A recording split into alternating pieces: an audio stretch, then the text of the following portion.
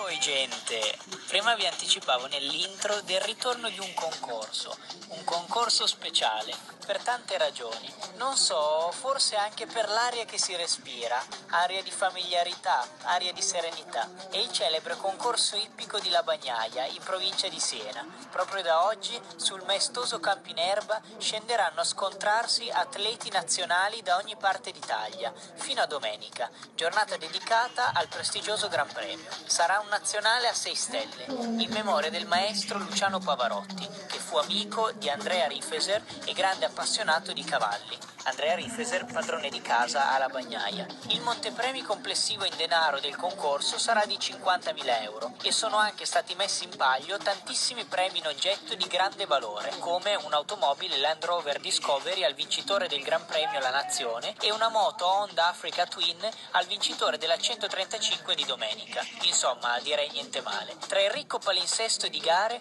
i riflettori saranno anche puntati sugli sport paralimpici. Infatti, il comitato organizzatore capitanato da Sara Rifeser, ha scelto insieme al Comitato regionale Fise Toscana di dedicare uno spazio alla realtà degli sport paralimpici legati all'equitazione. Questa, questa credo che sia veramente un'iniziativa nobile, che sarebbe bello vedere anche in molti altri concorsi. Insomma, sarà quindi un weekend da favola per il folto pubblico che come sempre raggiunge la bagnaia tra competizioni di alto livello, svago tra gli stand di prodotti di ogni genere situati vicino al campo e tra esperienze culinarie che fanno della Toscana una delle più belle terre d'Italia. Buona fortuna agli organizzatori e buon divertimento ai cavalieri e agli spettatori.